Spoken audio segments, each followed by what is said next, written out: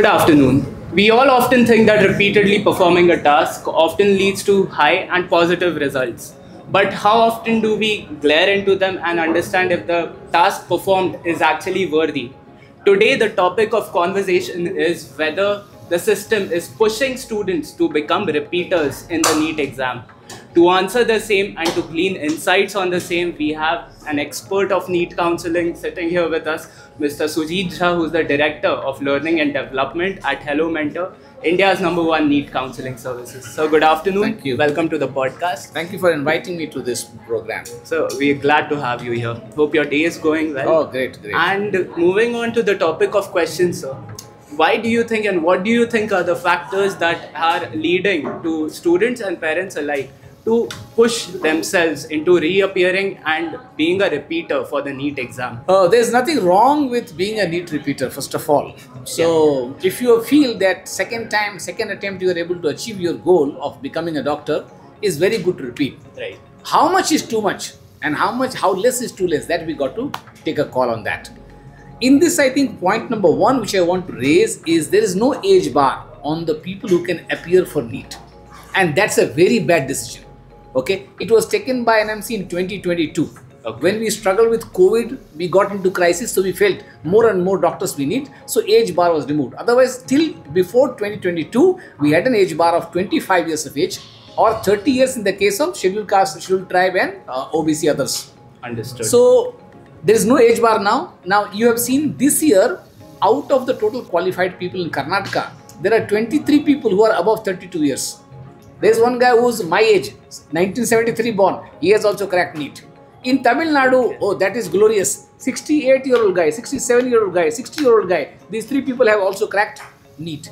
Now, because of the no age. no age bar. So what is happening now? They will claim one seat, and every seat that they will claim that will go from a 17 year old child Right. okay who is competing for the competition so you have increased the competition for them by having no age bar okay is it a smart idea do it no reason you see these people who have cleared suppose 68 year old guy in tamil nadu he is from government school 77.5% seats are reserved in tamil nadu for the students who have studied from government school at no zero fees so that that kind of seat is available to that person he has taken that seat from a guy who is 70 year old and when he will complete his mbbs Suppose he becomes 74, 75 years old.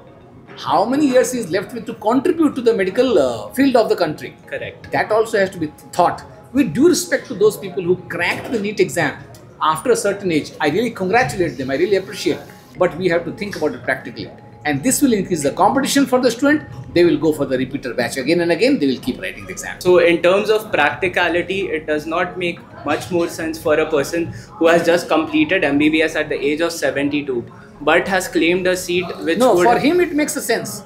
For him it But does for but, all of us as an ecosystem, but as the larger picture Yes. the system won't be contributing doctors that can serve longer if the Correct. person in question takes a seat of a 17 year old person who's cleared NEET. That actually is a big pain point, sir. And apart from this, the age factor, the no age limit rule, Yeah. do you think what other caveats exist that form such high number of repeaters in our Okay. country, sir, for the NEET exam? I think one of the reasons which I would like to talk about is the number of attempts. There's no capping on the number no of attempts. How many attempts can you write NEET exam? You can go unlimited, boss. One, two, three. Can you take uh, 50 attempts? The answer is yes. Okay? Though it's hypothetical, but please understand it. See, in IIT JEE, you can write the exam for three years. Reason? There, there is no capping on the attempts or the age limit there also. But you are, if you're writing the exam in 2025, IIT JEE, you must have completed your 12th either in 2024 or 2023 or pursuing it in 2025. So you can't take this attempt more than three times. But in NEET, it does not happen this way. Suppose a child, imagine you are 17 year old, you are writing the NEET exam in 2025. Can there be a guy who wrote the exam in 2024 also competing with you? Can there be a guy from 2023, 2022, 2021, Obviously. and 2020 as well?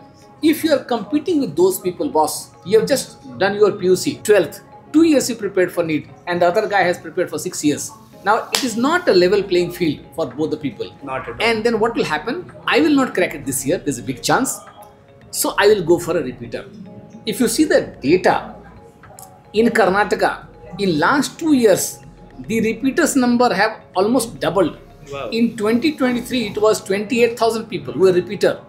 In 2024, it became 53,000. So every okay? second child. So almost it is- so almost doubled. child.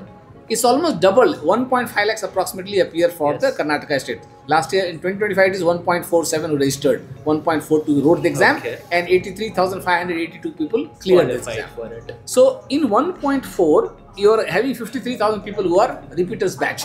Now, is it going to decrease? The answer is absolutely no. Reason?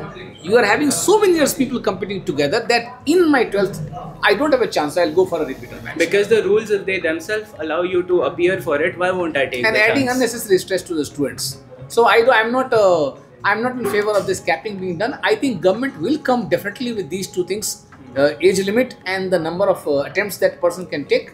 Okay, but I think it will take little time.